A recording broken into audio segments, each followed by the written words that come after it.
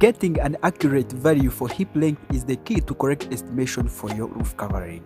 That's why in this video I've prepared two methods to help roofers, carpenters and students to be able to clearly understand how to calculate hip length for all roofs of all sizes easily. First of all, let's clearly understand these parts of a hip roof. One, we have the common rafters, we have the jack rafters, we have the ridge board, we have the end common rafters, and we have the hip rafters which are our main concern.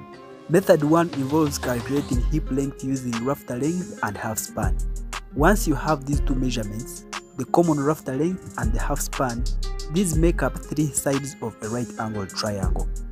This is the common rafter length, this is the half span, and the third side which is the required hip length.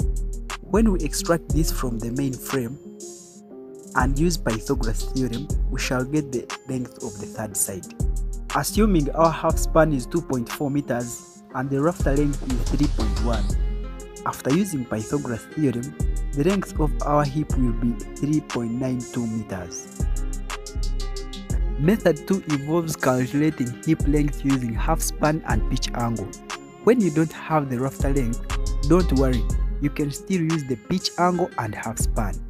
The first step is to find the rise per meter run. We get this by simply getting tan of your roof angle. For example, if your roof pitch angle is 40 degrees, this will be tan of 40 degrees which will give us 0.839 meters. This means for every meter run, your roof rises by 0.839 meters or 839 millimeters. This means for 1 meter run, your roof will rise by 0.83 meters. For a 2 meter run, your roof will rise by 1.678. For 3 meter run, your roof will rise by 2.517 meters. Step 2 involves finding out the plan length of the hip per meter run. Assuming side A is 1 meter and side B is also 1 meter. This makes our hip length per meter run as 1.414 meters when you use Pythagoras theorem. The third step is to find out the length of our hip per meter run. With the rise per meter run as 0.839 and our plan length per meter run as 1.414, we can determine the true length of our hip using Pythagoras theorem. And this will be 1.414 squared plus 0.839 squared which will give us 1.643. So 1.643 is the approximate true length of our hip per meter run. The fourth step, which is the final step, is to multiply your true length per meter run with your half span.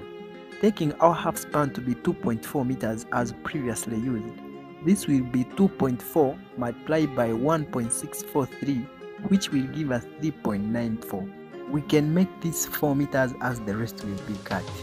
4 meters is the final length of our hip we need. Remember to add the length of the eave if needed. In summary, we now know that when determining the length of the roof hip, we can either use the half span and the pitch angle or we can use the rafter length and the half span. We used both methods and we got 4 meters as the length of the hip. That's the end of our today's video. I hope you get something from it. Our recent video was about how to calculate the rafter length. Watch that video, it's very very essential. Subscribe to watch more videos, more upcoming videos about construction. Thank you so much for watching.